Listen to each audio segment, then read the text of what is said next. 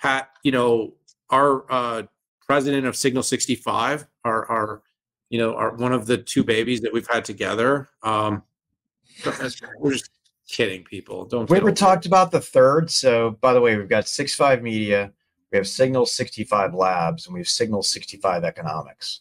Yeah. Yep. Yep. Yep. Yep. Two babies. One has already had its own baby. Um, but the the bottom line is is that you know Ryan Shrout, Signal 65 president, was out uh, at a Best Buy taking pictures, checking out the checking out the store displays. But the Copilot Plus PCs were front and center in Best Buys around America this week.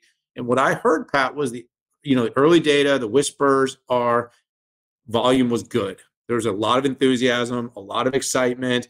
You know, we may have bought a few hundred of them at uh, at the Signal 65 for our labs, but uh, strong demand, strong display, strong interest. You know, you saw Satya tweeting about it and Pavan tweeting about it. You saw Cristiano Amon tweeting about it.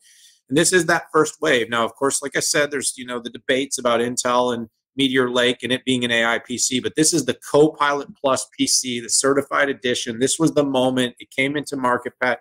Big thing. There's been kind of three waves of announcements here. So I'm kind of, you know, it was it was important but tempered in that way because like we had the Microsoft build moment, and then we had the Computex moment, and then now we had the actual go live moment. I always kind of joke, Pat, that like when you would acquire a company, and I've done a little bit of that over the last few years, you only get to announce it once. So you either announce the deal is struck or you announce the deal is closed, but you can't really announce both. But this is such an exciting moment. They've actually managed to announce it three times.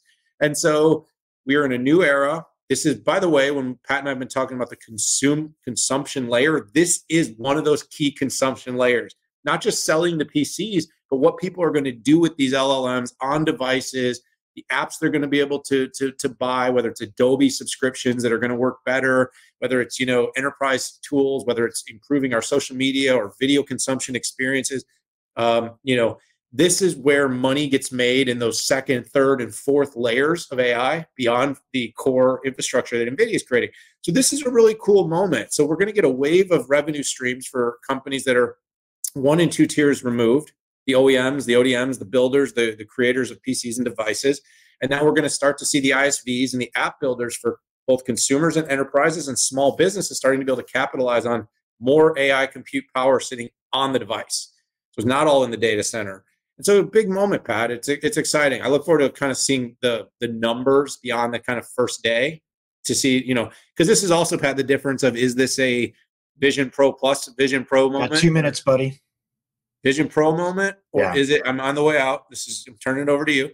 Or is this the beginning of a wave of really big numbers? I think it's the latter.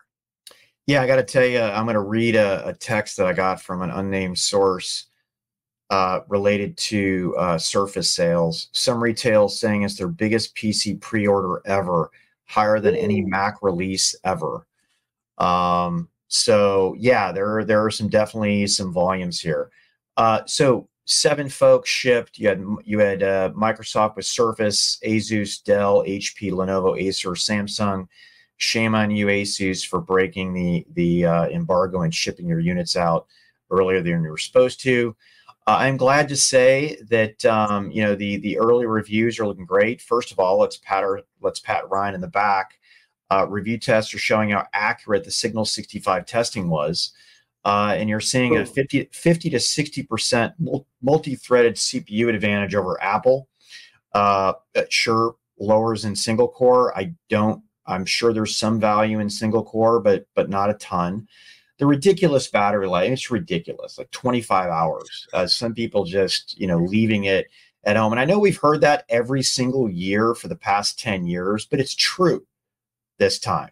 Software compatibility, I need to do a double click on that. There were some, you know, you knew any driver related stuff like some outdated Kaspersky, which by the way is being banned here in North America.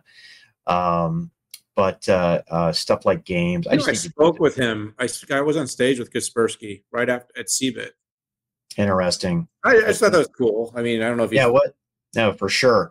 So uh, final uh, final comments here. Sorry, Dan, just trying to work this in before my next meeting. Uh, kudos to Qualcomm and Microsoft. Herculean effort three to three to four years you have to place these bets. But but but you stuck the landing. Now, I am selfishly disappointed by recall being pulled back. Um, I'm not convinced it's insecure. I feel like the company overreacted. Get it into Windows Insider now.